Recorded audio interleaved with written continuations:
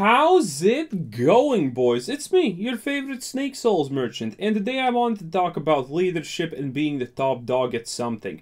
So, this is a very interesting subject because a lot of people get some things wrong, and because they get these things wrong, they actually feel worse about their job, or worse about their position, or worse about their standings. And there are a lot of things uh, when you are in a leadership position, or an upper management position, or in a or the leader of a project that people don't understand and sometimes take the wrong way. And we're going to look at some of the most popular misunderstandings about leadership positions, being essentially the head of a branch or being the head of a project and stuff like that.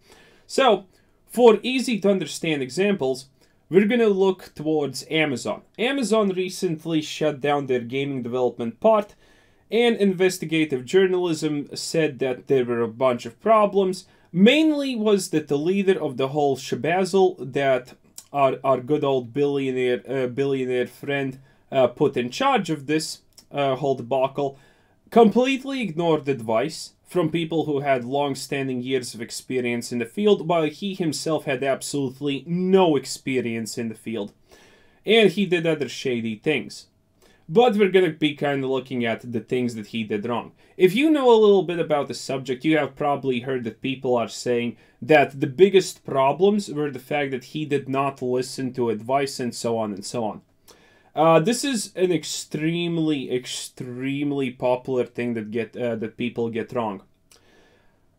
Leaders don't have to uh, to listen to advice, and a lot of times when someone gives a leader advice on something, they think that they are being ignored, while in reality they are not being ignored. This is the part that a lot of people don't understand about leadership in projects, leadership in positions, leadership in all, all kinds of places.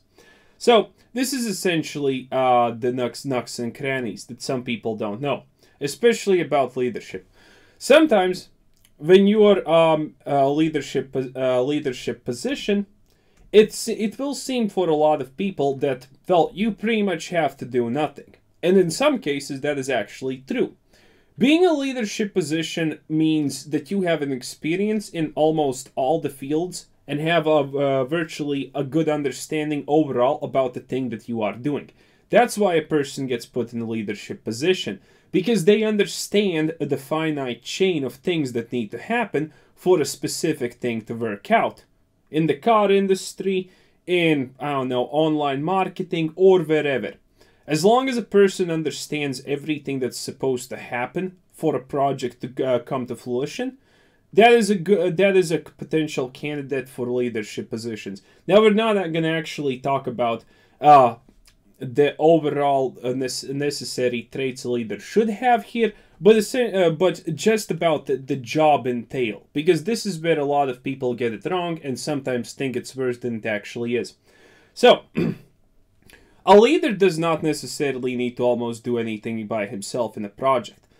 Some people think that uh, in some situations that you know the top cheese, the top uh, dog doesn't do anything, and that is completely correct.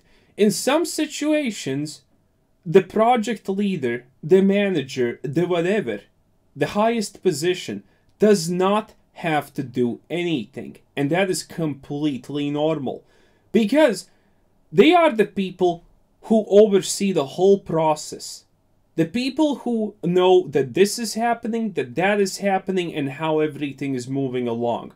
And if everything is moving along smoothly, because the people under him are competent enough, the person in the leadership position doesn't have to do anything really, and that is completely fine.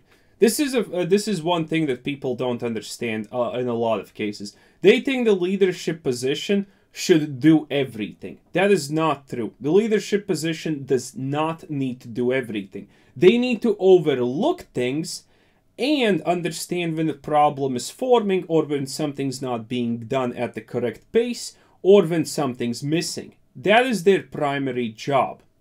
The other big thing, uh, big thing that people overlook is the exact Amazon situation.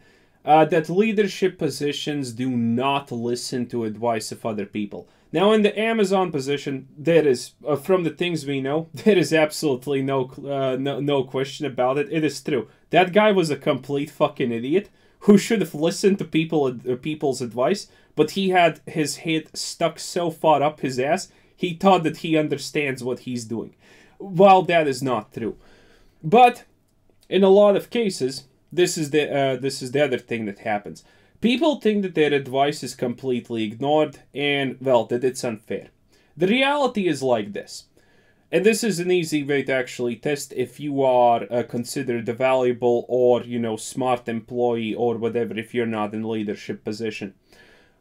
When someone who is not at the chain of command of X gives advice on something on a project, uh, nine times out of ten, if the project head is competent, he will already have thought about that uh, thing that you are advising on, has already talked to people about the thing that you advised on, and has most likely even maybe moved past that thing because he saw reasons why it's not good or why is it good or has already done it and you just don't know about it.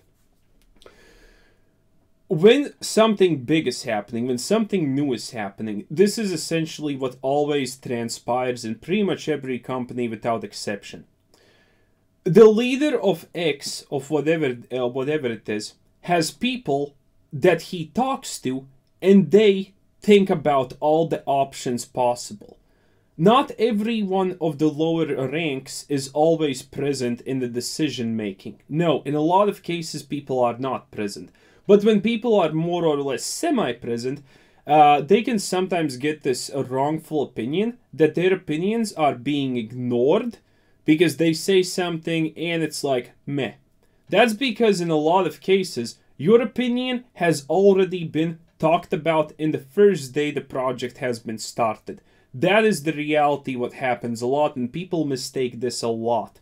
People think that their opinions are completely worthless, but in reality, uh, the leader of the project, the head, the big honcho in the fancy hat, has most likely already talked about all these options with the people he trusts, the people he wants to know their opinion of, or, someone uh, someone close to him who is working at the top of the chain has already talked to that person about that thing. So this is a quite often misunderstanding because of this. Most likely, if you are not uh, pretty high up the chain of the command and you get the chance to give a suggestion, most likely that suggestion has already been thought of or is in some kind of action or is under consideration. This is a thing people hugely get wrong, and then they think that their opinions don't matter. But this is actually a good test for people who are uh, in lower uh, in lower positions and are not management.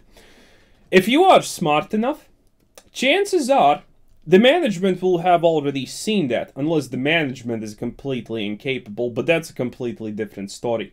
If the management is capable enough and they understand that you are capable enough, there are chances that you will be uh, there when some of the talks happen about the things that should be in the project, the things that need to be checked, things, options, and so on and so on. There is a chance that that happens if you are competent enough and they know about you being competent enough.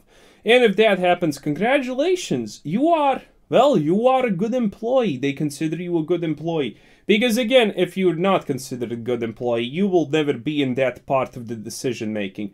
And while it usually is done with the top executives and so on, sometimes, you know, the minor roles also get a say in this in a part. If they are considered worthy and smart enough to actually you know give advice on uh, on said subject matter. So if you have never given advice on a subject matter well i'm sad to say this but you are most likely not seen as uh, the brightest shovel in the tool shed you know what i mean? But yeah. And this essentially is a huge part of the Amazon gaming problem that I feel that occurred because people constantly said, ah, he listened to nothing. Admittedly, in this case, I truly do think he was just an idiot who didn't listen to anything. But in a lot of cases, when something fails and people start yelling, ah, he completely ignored all of that advice and this and that and this and that, it is because people don't actually understand that, well, everything they advised had already been under consideration days, weeks, maybe even months ago when this all started. That's a huge thing that people misunderstand. Advice, if it's good advice especially, is not squandered if a person is competent. It's just not squandered most of the time. But, you know, it's not you who always gets to give the advice or is called in to give their opinion on things. But if you're a capable employee, you most likely give advice on some uh, some matters or things like that. The bosses always go and talk about projects with people who think they have good opinions on X. If a, if if the boss thinks that someone has a good opinion on X, trust me, the boss has already talked to that person. Already gotten their opinions, already asked some questions, and already heard some ideas that get offered to him. If if someone does not care about your opinion, that's just most likely because maybe you're just not good enough or your management is complete garbage. One or the other. Usually, sadly, it's the former. So, well, tough luck, buddy. Maybe you're just not the best in the world. Who knows? But yeah, this is a very misunderstood uh, thing that some, well, it happens far too much, honestly. That people think that they are not uh, being treated well, that they are being ignored, while in reality, that person just cannot actually give uh, decent advice. And this is something that may have happened in the Amazon case. Admittedly, I don't think so, but I have a dodgy feeling that that may be a little bit of that. Maybe that person who was leading everything that Bezos uh, that Bezos left it to had everyone just telling uh, everyone constantly giving the same pretty much advice on anything everything so he just started more or less ignoring it. You never know. You literally never know because, well, if he was even reasonably competent, he most likely asked about the most typical scenarios from the be uh, the best standing, longest standing higher uh, uh, people in the higher positions. That's most likely what happened. So yeah, that's a pretty interesting thing that sometimes happens. And don't take it the wrong way if your opinion is being ignored. It's not always the case. Well, if it's always being ignored, you're just garbage, most likely. That's also kind of reality. But yeah, that's the thing. So for everyone whose opinions don't get ignored and who actually get uh, get to be in the uh, debate and uh, debate process, well, good on you, boys. You're actually doing fine.